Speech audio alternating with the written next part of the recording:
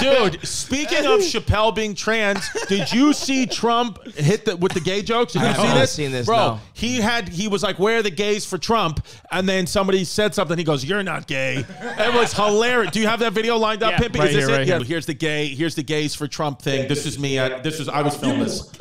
Thank you very much. Where's gays for Trump? You don't look good.